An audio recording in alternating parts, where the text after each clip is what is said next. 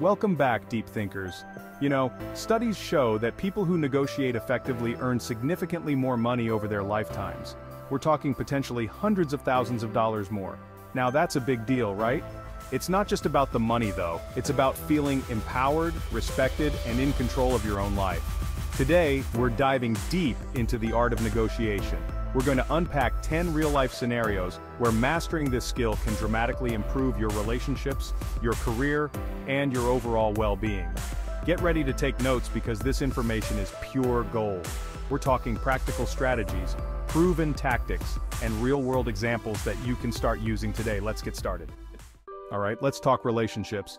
And I don't just mean romantic relationships, I'm talking about any significant partnership where you're sharing a life, a space, or responsibilities. Because let's face it, resentment builds up faster than a clogged drain when one person feels like they're carrying the weight of the world while the other's out there whistling Dixie. Now negotiating household responsibilities isn't about keeping score. It's not about winning or losing. It's about open, honest communication and finding a balance that works for both parties. Start by sitting down with your partner and making a list of all the tasks that need to get done around the house. And don't be shy about getting specific. We're talking laundry, dishes, grocery shopping, yard work, the whole nine yards. Once you've got your list, talk about which tasks each of you enjoys more, or at least dislikes less. Maybe one of you hates doing dishes but doesn't mind folding laundry. That's valuable information. Then, consider your schedules and commitments. If one person works longer hours or has a more unpredictable schedule, it's only fair to adjust the division of labor accordingly. Remember, this is a partnership, you're on the same team, working towards a common goal, a happy, harmonious home. Let's talk about something a lot of people dread, salary negotiation. Many people, especially women, feel uncomfortable asking for what they deserve. They think it's greedy or pushy. But let me tell you something, deep thinkers, knowing your worth and advocating for yourself is not greedy, it's essential. When you're negotiating your salary, you're not just talking about a number, you're talking about your value, your skills, and your contributions to the company. Before you even step into that negotiation, do your homework. Research the average salary for your position in your industry and location. Websites like Glassdoor and Salary.com can be really helpful for this. Next, prepare a list of your accomplishments and contributions to the company. Quantify your achievements whenever possible. Instead of saying, I improved customer satisfaction, say, I increased customer satisfaction by 15% as measured by our quarterly surveys. During the negotiation, be confident and assertive, but not aggressive. Remember, this is a conversation, not a confrontation. Listen to what the other person has to say and be prepared to negotiate and never ever lowball yourself. You're worth it. You're Let's be honest, negotiating with kids can feel like negotiating with a tiny terrorist sometimes. They're master manipulators, they know your buttons, and they're not afraid to push them. But even though it can be challenging, it's crucial to teach your children the art of negotiation from a young age. Now, when it comes to chores, allowance, or screen time, involve your kids in the process. Instead of dictating rules, have a conversation. Ask for their input, and be willing to compromise. For example, Instead of saying, you have to clean your room right now, try, hey, I know you want to go play outside and I need your room cleaned up. How about we set a timer for 15 minutes, you see how much you can get done, and then we'll talk about it. When your child helps around the house or exhibits good behavior, acknowledge their efforts and praise their contributions. Positive reinforcement goes a long way. Remember, negotiating with children is about finding a balance between setting boundaries and giving them a voice. It's about teaching them responsibility, respect, and the importance of communication. Whether you're planning a wedding, a birthday party, or a family reunion, event planning can test even the most patient soul, but it doesn't have to be a recipe for disaster. Negotiation is your secret weapon for keeping everyone happy, including yourself. First things first, establish a budget and stick to it. This will help you narrow down your options and avoid overspending. Next, be upfront and transparent with your vendors about your budget and your expectations. Don't be afraid to ask for discounts or to negotiate payment plans. When it comes to decision-making, involve key stakeholders in the process.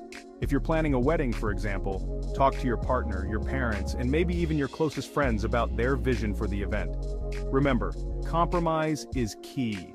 You're not always going to get everything you want, but by being flexible and willing to negotiate, you can create an event that everyone will enjoy. Let's face it, conflicts are inevitable in any relationship. Whether it's with a partner, a family member, or a friend, disagreements are bound to happen. But how you handle those conflicts can make all the difference. The key to successful conflict resolution is to approach the situation with empathy and understanding. Put yourself in the other person's shoes and try to see things from their perspective. Instead of interrupting or getting defensive, practice active listening. Really hear what the other person is saying, both verbally and non-verbally. Once you've both had a chance to express your feelings, work together to find a solution that addresses both of your needs. This might involve compromise, creative problem solving, or simply agreeing to disagree. Remember, conflict doesn't have to be destructive. In fact, it can be an opportunity for growth and deeper understanding. Deadlines. They're the heartbeat of the workplace, but they can also be a major source of stress. Whether you're negotiating deadlines with your boss, your team, or your clients, it's essential to be proactive and assertive. Before you agree to any deadline, make sure you have a clear understanding of the scope of the project, the resources available to you, and any potential roadblocks. If you feel like a deadline is unrealistic, don't be afraid to speak up. Explain your concerns to your boss or your client and propose an alternative timeline. Once a deadline is set, manage expectations by providing regular updates on your progress. If you encounter any unexpected delays, communicate them immediately and offer solutions. Remember, negotiating deadlines is about finding a balance between meeting your obligations and maintaining your sanity. Family vacations. They're supposed to be fun, relaxing, and a time to create lasting memories. But let's be real, they can also be a recipe for disaster if you're not careful. The key to a successful family vacation is planning and communication. Before you even book a flight or reserve a hotel room, Involve everyone in the decision-making process. Talk about your budget, your interests, and your expectations for the trip. If you have young children, consider their needs and limitations. Once you've chosen a destination, create an itinerary that includes a mix of activities for everyone, but don't overschedule yourselves. Leave room for spontaneity and downtime, and most importantly, be flexible. Things don't always go according to plan, and that's okay. Roll with the punches, and remember that the most important thing is spending quality time together. Negotiating with vendors can feel intimidating, but it's an essential part of event planning.